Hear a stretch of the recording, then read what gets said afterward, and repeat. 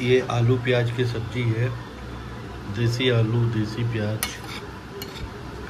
और इसके अंदर जो हल्दी यूज़ किया गया है वो भी ऑर्गेनिक है और मसाले ऑर्गेनिक है। ये मूंगफली से तेल से बनाया गया है। ये। अमचूर डाली इसमें इमली डाली हो क्या अमचूर नहीं डाली? इमली नहीं डाली? ये सिक्का है। ये लबालब लद लद रोटी।